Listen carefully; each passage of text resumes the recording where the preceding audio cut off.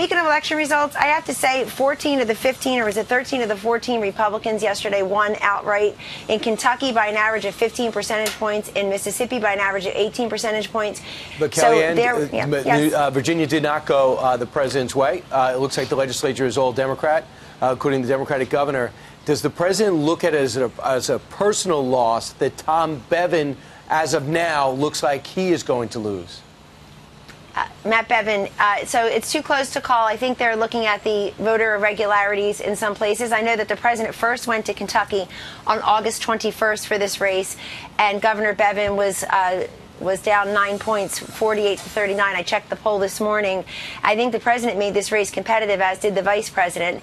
And the president got 62.5% of the vote in Kentucky three short years ago. He'll dominate the state again next year and put okay. a lot of these races, uh, made them more competitive. But we'll see what happens. Governor Bevin is trailing by point, less than half a percentage right. point. The libertarian there, uh, I guess, was the spoiler. They like to do that everywhere they go. Less than 2% of the vote, right. but there's the spoiler. Neither one uh, 50. And Andy Beshear's father okay. was governor. So all of that is important here. 13 to 14 statewide races. One, and let's see what the final call okay. in the governor's race in Kentucky is. Now, I know Kellyanne Conway's sole job is to spin everything in Trump's favor, but watching her play off the fact that a Republican governor just lost in perhaps the reddest state in the nation is really something else. And she starts off by wheeling off races that Republicans did manage to win in Mississippi and Kentucky in Mississippi and Kentucky.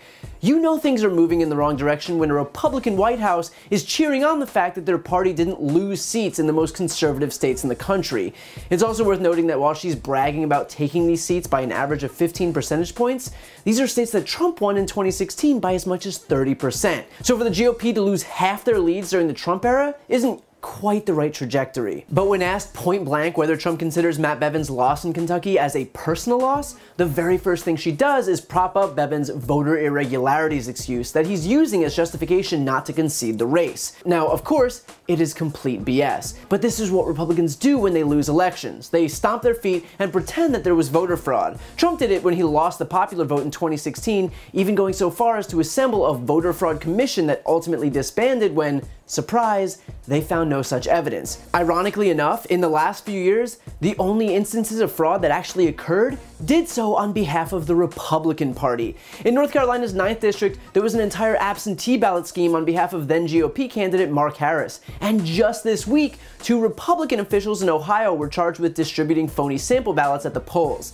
But in terms of the Kentucky race, the only irregularity is that Bevin is so grossly incompetent that he actually managed to lose his race in perhaps the reddest state in the country. But Kellyanne then goes on to actually credit Trump for deigning to come in and even give Matt Bevin a fighting chance.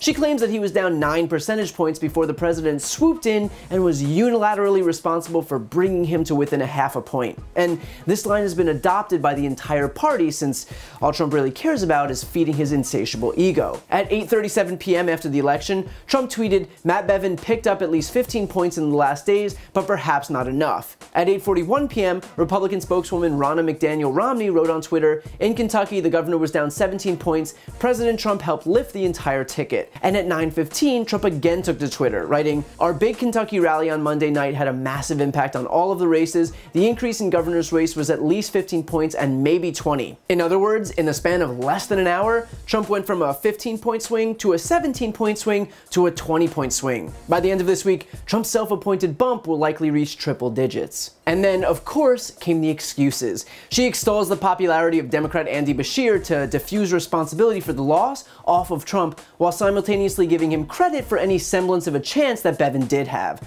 Funny how it always seems to work out that way, that Trump always gets all the credit but is never to blame. And then she finishes her rant by complaining about the spoiler, which is Weird because I can't quite remember Kellyanne Conway complaining about any spoilers in the 2016 race, like when Jill Stein took 51,000 votes in Michigan where Trump's margin was 10,000, or where she took 49,000 votes in Pennsylvania where Trump's margin was 46,000, or where she took 31,000 votes in Wisconsin where Trump's margin was 22,000. I guess Spoilers are only bad when they take away from Republican leads. The fact is, Kellyanne can try to spin what happened in Kentucky as a win for Trump until she's red in the face, but Trump has clearly made the Republican Party toxic, seating hundreds of seats around the country in what have historically been safe red districts. Trump has presided over major Republican losses now in Kentucky, Virginia, Alabama, Wisconsin, Illinois, Michigan, Maine, Kansas, Nevada, Oklahoma, and New Mexico. He presided over the biggest Democratic takeover of the House in modern American history. He is the only president in modern history not to have a positive approval rating, and now, poll after poll, including those put out by Fox News, shows that the majority of Americans believe he should be impeached. So Trump is absolutely responsible for what happened in Kentucky, and there is no planet on which you can spin that as a win.